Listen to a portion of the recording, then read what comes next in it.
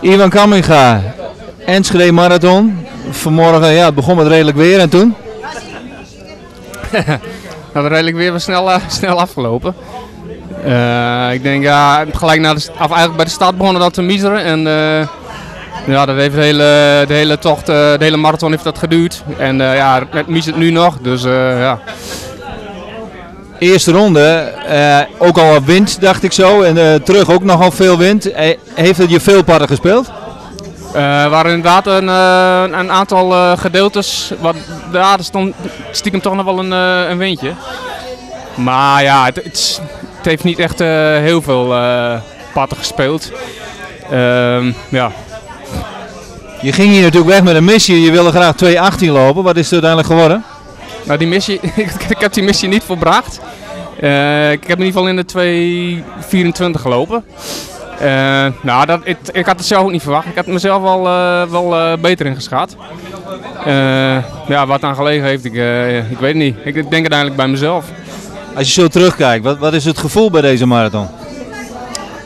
Een, het eerste wat in me ko- opkomt is een, een eenzame strijd. Ik heb eigenlijk vanaf de start tot en met de finish heb ik, eh, alleen gelopen. Ehm, ik zag niemand voor me. De kopgroep was te ver weg. En eh, achter mij hoorde ik of eh, zag ik ook niemand. Dus het is een, een eenzame strijd geweest. En soms had ik het gevoel, niet eens het gevoel dat ik in een wedstrijd liep.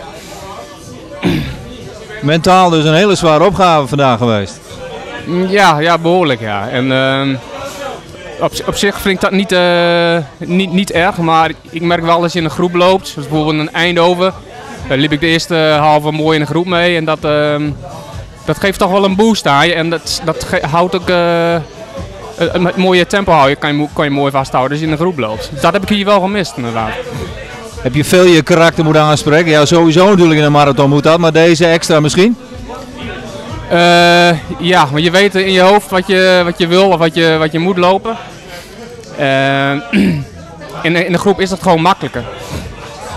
En ehm, ja, daarvoor moet je wel de men- mentaal de, de knop bij, eh, omzetten. Je moet echt wel uit je comfortzone trainen, ja. Is er ook nog ergens in je opgekomen, nou misschien wel beter uitstappen? Eh, nee, ook, ook al had ik hier eh 4 uur eh 30 gelopen, uitstappen had ik, had ik, dat komt niet in mij op. Je loopt die twee ronden. Makkelijk, moeilijk, wat is dat? Dan hebben jullie weer één grote ronde. Nou, het maakt me niet zo heel erg veel uit. Je weet uiteindelijk dat het 42 kilometer is. En belangrijk voor mij zijn de, de, de kilometers die goed zijn weggezet. Dat zijn, nou, eigenlijk is dat meer voor mij een eikpunt dan de, de twee rondes of één ronde. Dat maakt voor mij niet zo heel erg veel uit.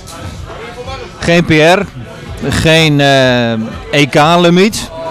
Allemaal teleurstellend. Of zeg je, nou ja, het is all in the game, dat hoort bij de marathon. Eh, het, het, het hoort erbij. Ergens in mijn achterhoofd spookt wel, eh, wel rond van, nou ja, het is, het is in- inderdaad wel jammer. Eh, heel erg jammer, maar eh, aan de andere kant, je bent, je bent hardlopen, je weet dat dat, eh, dat erbij hoort. En uiteindelijk doe je het ook om het plezier en doe je het voor jezelf. Dat je er zelf beter van wordt en dat je, dat je er plezier in hebt. Dat, en dat is ook een hele belangrijke factor bij mij. Je hebt heel veel marathons gelopen. Hoe schaal je deze in? Dit is toch wel een van de mindere. Op een of andere manier. Ik denk, ja. Ik heb nu, denk 18 marathons gelopen of zo. En nou, dit was, voor mijn gevoel was dit ehm, toch wel een van, een van de mindere, ja.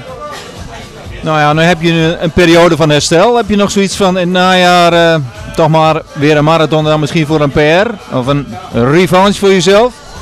Nou, ik moet alles even, even wegzetten voor mezelf nu. Even, eh, nou, even, even reflecteren van wat ging er goed, wat ging er eh, misschien minder goed.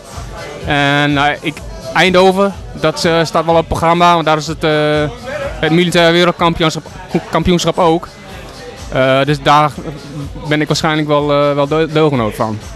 Mag ik je toch feliciteren met een finish, want dat is altijd een felicitatie waard vind ik. Ja, nou ja, hartstikke mooi, dankjewel. Ivan Kammergaan bedankt. Ja, bedankt.